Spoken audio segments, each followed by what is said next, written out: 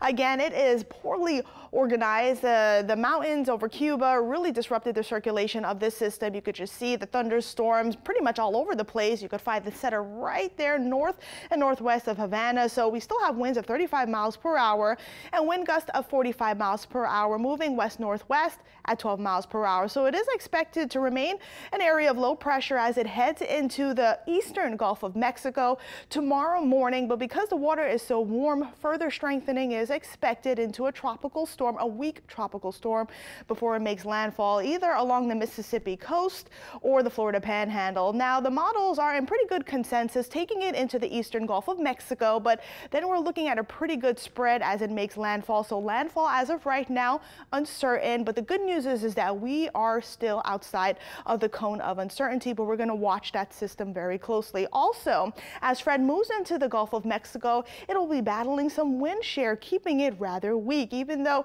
it could possibly strengthen into a hurricane, it is unlikely.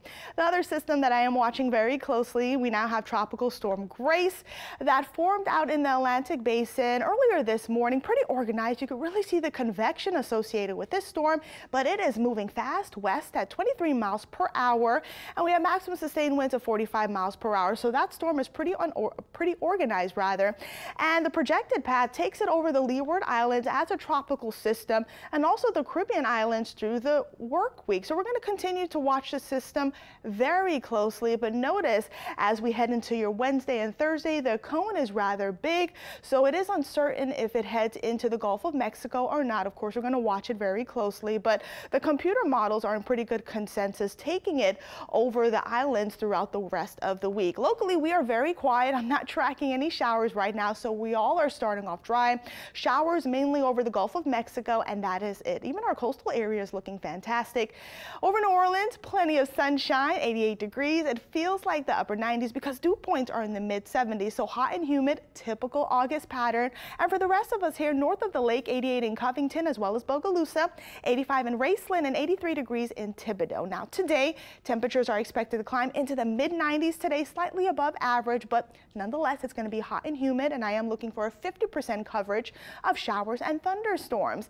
Even though temperatures will climb into the mid 90s today, today it is going to feel like the upper 90s, so make sure you're staying hydrated while you're out and about today and make sure you have that umbrella with you because I am expecting showers and storms later on today. Houma, same deal. Isolated showers and storms are possible in your area, starting off with sunshine, but we'll start seeing those clouds continue to build across the area.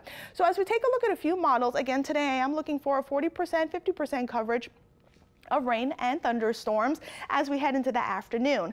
Tonight, a few showers and thunderstorms are possible in a few spots, but I am expecting mainly cloudy conditions. But tomorrow, starting off nice and dry, but then those clouds continuing to build, you get that daytime heating. More showers and thunderstorms are in the forecast tomorrow afternoon. And notice the coverage. I am looking for a 60% coverage tomorrow, settling down as we head into Sunday night. And then Monday morning, a few showers and thunderstorms are possible. And then Monday afternoon, I really expect expect showers and storms to start uh, firing up across the area and quick heavy downpours are possible Monday afternoon. So of course we'll be watching the flooding potential. Here's a look at your seven day forecast. Hot and humid today, 94. Starting off with sunshine. Watch out for showers and storms later on this evening or this afternoon rather. Tomorrow, same deal. Hot and humid throughout the rest of the week and we are looking at uh, moderate chances or rain chances Monday